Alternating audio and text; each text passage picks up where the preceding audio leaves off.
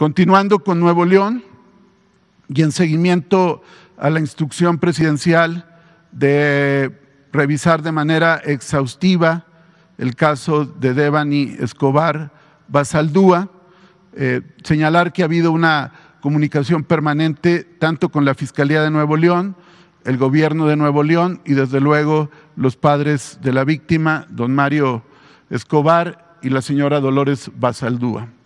De tal suerte que informamos que el pasado día sábado 21 de mayo se llevó a cabo una reunión interinstitucional del caso en el Instituto de Ciencias Forenses del Tribunal Superior de Justicia de la Ciudad de México.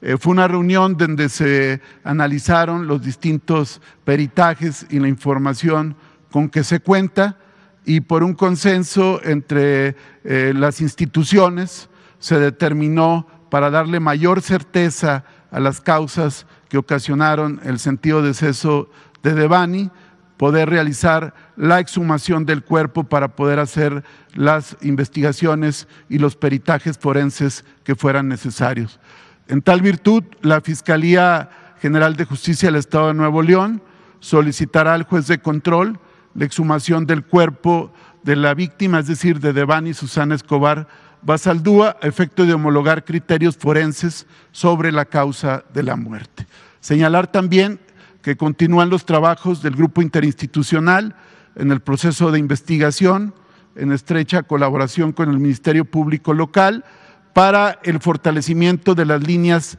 de investigación, siguiendo en todo momento el protocolo de feminicidio.